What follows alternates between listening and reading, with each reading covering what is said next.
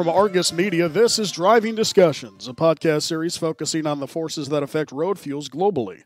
Greetings and salutations once again. Jason Metko here, spot ticker reporter at Argus.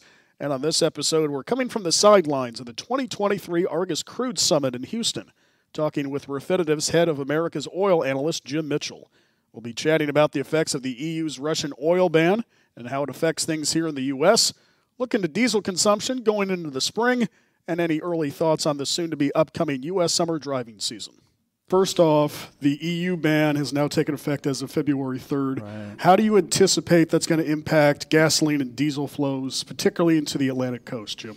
Yeah, great question. Um, two two very different answers, right? So, uh, gasoline, Northwest Europe will continue to send gasoline to the Atlantic coast uh, of the U.S., who is short. Um, as that demand increases, which is going to be pretty much GDP dependent upon that area, uh, they're going to demand more. And the the only other way to get it is through these ginormous pipelines that come out of Texas. Here, we're in Houston, um, and they're they're pretty much full. So uh, it's going to have to come waterborne. The easiest solution is to come from, and the cheapest solution is to come from Northwest Europe. So from the gasoline perspective, I don't think there'll be much change. On the diesel perspective, that's where we're seeing something, uh, a couple things really interesting happening. With the EU ban on diesel, um, we're actually seeing that the Russian diesel, which we uh, on, and I have talked about on my podcast as well, uh, it's going to go into the market. The world is structurally short diesel. It's going to different places, which is creating other flows. Uh, the Atlantic or the uh, Gulf Coast in the U.S. has been supplying Northwest Europe diesel for decades and will continue to. The interesting part is that the Gulf Coast uh, volumes are being taken over by the Middle East refiners. Uh, and I, I, suspected that was going to be the case. Um, we can see on our system, you can actually see the flows happening.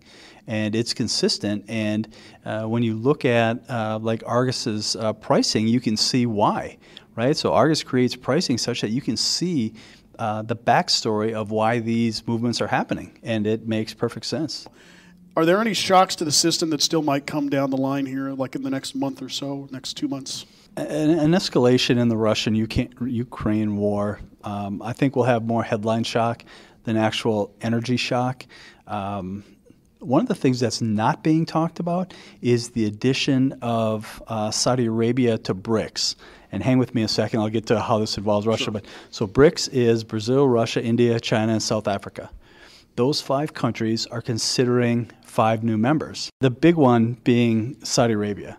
So if you think about now with this new, and the first thing they need to do is get a new acronym because BRICS um, I'm not sure that's going to work, but uh, with uh, with Saudi Arabia in this group, uh, think about what you have. You have number two and number three for oil producers, and then you also have two um, mid majors with Brazil um, and China producing, right? right? And then you also have two ginormous consumers with India and China.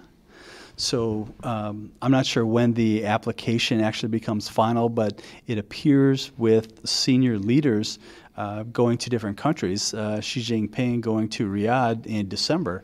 Um, that that piece of the the membership looks like it's uh, well underway and I, am not sure when the, the actual vote, the five member vote is on that.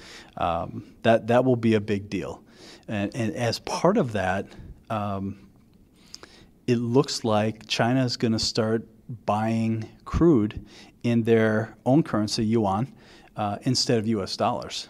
That's a huge deal, right? If Saudi Arabia stops selling um, uh, Aramco, Saudi Aramco, the, the operating company, stops selling their crude in U.S. dollars, that's $7 trillion of U.S. dollar velocity taken away from the U.S. dollar worldwide, right? That's not great for the dollar. Uh, for for uh, Southeast Asia specifically, uh, to be buying crude in yuan, because it's it's more than just China, right? Um, if, if, I doubt that Korea would do it, but they certainly could. Um, uh, Vietnam definitely could. I doubt uh, Japan would, but they certainly could. Uh, it, it, creates this regional hub in China for crude oil that China is clearly trying to do. Right, they set up an exchange a year and a half or, or so ago. Um, it's I, I don't know that that happens in the next month but clearly a story that's going to become more uh, important, uh, certainly in 2023, but then uh, years ahead as well. Jim Mitchell is our guest. This is Driving Discussions emanating live from the sidelines of the 2023 Argus Crude Summit. Jason Metko with Mr. Mitchell here today. I want to get back to diesel. We were talking about that a few moments ago. Yeah. It wasn't as cold, thankfully, this winter thankfully. here in the United States. Yeah. Spring planting season's nigh upon us. What are you seeing as far as that might be concerned this year? Yeah, that's a that's a great question. So when you look at the refinery outages um, in the U.S., they have been pretty much a, a, a greater outages. Uh, I think it, it maximizes sometime between now and about the beginning of March, and then it starts to come back online through about June. Um, what's interesting about that is that China is going the exact opposite way right? So they're at full capacity now, and why not if you're buying this cheap Russian crude? Right. But they start to come off uh, about in May through about October for maintenance. Uh, the interesting part about that, China is exporting a lot of product, uh, specifically jet, into the West Coast U.S., which is kind of important. Now, you, you talked about diesel in the U.S. Um, uh, I look at all of the Americas since the U.S. is an exporter to more than just Northwest Europe. We, are, we do export to Brazil and then to Mexico as well as we go into planting season, uh, so we're sitting here about the middle of February. As we start to look um, eh, the end of March and into April, um, remember that's when Brazil, for example, is starting to go into their winter season, right? So Brazil has serious um, hydro issues, right? So they're short electricity, so they very likely will be importing diesel uh, for their winter, our summer. Okay. So the the planting season and this kind of shoulder month in Brazil are happening at the same time. Um, is it is it supportive? Yeah, absolutely. A couple more minutes here with Jim Mitchell on driving discussions. This might be too far out in advance to talk about, but summer driving season is going to be here before we know it. That's a big, big time for consumers to get out there. They notice the gas prices. Yeah. Do you have any early thoughts on what we might be seeing this summer, Jim? So um, I've maintained that we're, we're probably in this grind higher kind of um, market. So do we do we see it go to five dollars uh, in Texas? So an, an average. So last month, last week's average is around three fifty five. Do we get over five dollars on a U.S. average? I doubt it. Um, it's certainly possible, but it, not very likely. Um, I, I, think we probably grind from here up up probably somewhere a little bit under four dollars on an average for the U.S., and then recede, and then possibly uh, uh, incline into the end of the year. But uh, it, it's not going back to two dollars. Um, I think we're you can expect uh, some pretty good volatility. Uh, in this time frame, there's uh, some big macro events that will affect the price of crude and the price of gasoline and diesel. Jim, we know you're a very busy man. Thanks for doing this, and hope you can come back someday. I appreciate it. Thanks for having me.